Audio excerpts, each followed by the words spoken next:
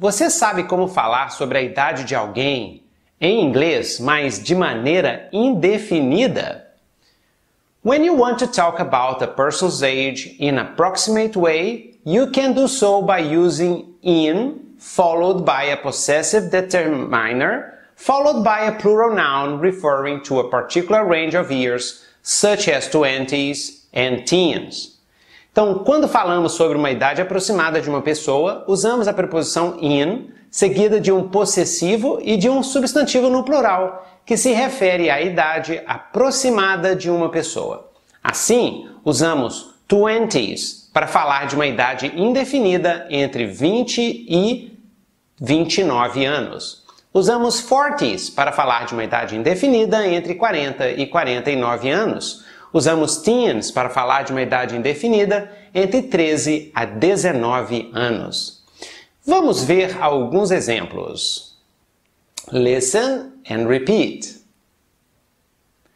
Ele tinha de 60 a, de 60 a 69 anos. He was in his 60s. He was in his 60s. Eu não amadureci até chegar nos meus 40 e alguns anos.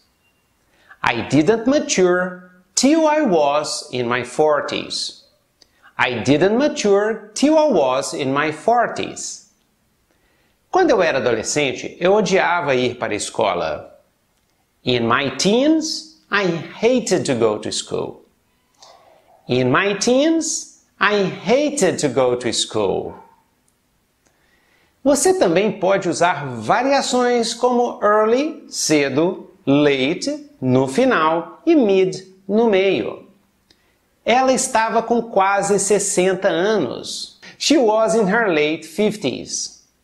She was in her late 50s. Jane tinha entre 43 e 46 anos. Jane was in her mid-40s. Jane was in her mid-40s. Eu estava com trinta e poucos anos quando eu morei nos Estados Unidos. I was in my early 30s when I lived in USA. I was in my early 30s when I lived in USA. Excellent! Faça agora uma frase usando essas expressões para falar de idade indefinida nos comentários abaixo e melhore seu inglês.